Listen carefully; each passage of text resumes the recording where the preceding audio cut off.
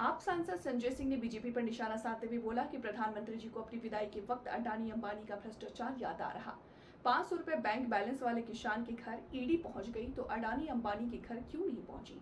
प्रधानमंत्री जी को तो टेंपो नंबर भी याद है। जैन साथियों, पिछले दस साल से मैं लगातार पूंजीपतियों के लूट का मुद्दा उठा रहा हूँ। किस तरह से प्रधानमंत्री नरेंद्र मोदी अपने दोस्तों के नाम देश की संपत्तियाँ करते जा रहे हैं? रेल हो, सेल हो, कोयला हो, बिजली हो, पानी हो, सड़क हो, एफसीआई हो, एलआईसी हो, बीपीसीएल हो, हिंदुस्तान की सारी संस्थाओं को बेचने का काम किया। और अपने सबसे करीबी दोस्त अडानी के नाम पर उन्होंने सब कुछ नीलाम कर दिया। पोर्ट दिया, एयरपोर्ट दिया, कोयला दिया, गैस दिया, बिजली दिया बड़ी बड़ी खदानें दी। ढाई लाख करोड़ रुपए का कर्जा दिया। मैंने पार्लियामेंट में उनके सामने नारा लगाया, मोदी, अडानी भाई भाई, देश बेच के खाई मलाई। राफेल के मामले में पिटिशन किया कि किस तरीके से अंबानी को ठेका दिया गया।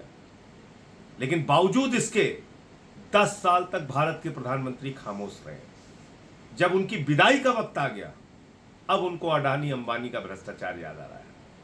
प्रधानमंत्री जी, आप कह रहे हैं टेंपू में भर भर के रुपया पहुँचाया गया। काला धन आपके राज में पहुँचाया जा रहा है। तो आप कर क्या रहे हैं? चार सौ रुपए जिस किसान के खाते में रहता है, उसके घर में तो ईडी पहुँच जाती है। जब इतनी बड़ी जानकारी आपको है, टेंपू नंबर आपको पता है तो आप अपनी ईडी सीबीआई को क्यों नहीं भेजते?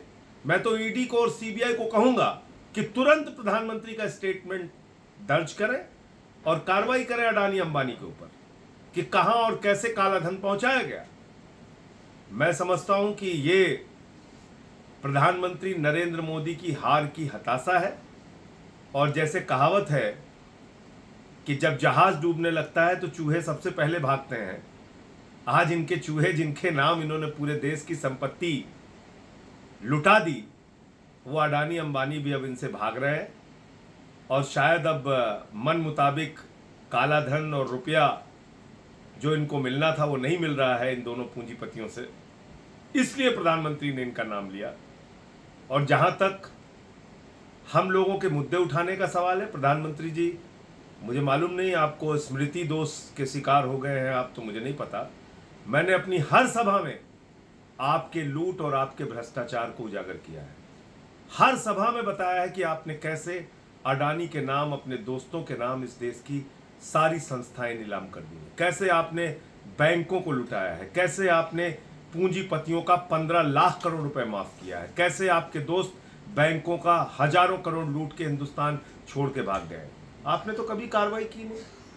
अब आपके जाने का वक्त हो रहा है, सरकार की विदाई का वक्त हो रहा है। तो अब आपको अडानी अंबानी याद आ गए आज। लेकिन इस देश की जनता आपकी असलियत अब जान चुकी है। आपने इस देश को खोखला किया है। भारत माता की संपत्तियों की लूट हुई है आपकी सरकार में और जनता आपको माफ़ नहीं करेगी। जय हिंद।